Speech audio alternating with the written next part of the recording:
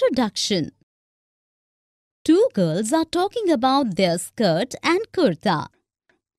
Hi, Isha. Your skirt is very beautiful. My mother made this pattern. I have a kurta in which there is a same block making, but in a different pattern. How was it different? In your skirt, the rule of the pattern is one up and one down.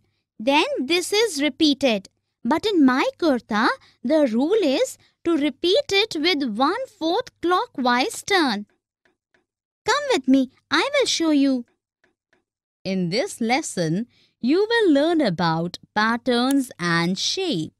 For more such videos on all subjects, practice questions and a lot more, download iPrep and learn unlimited.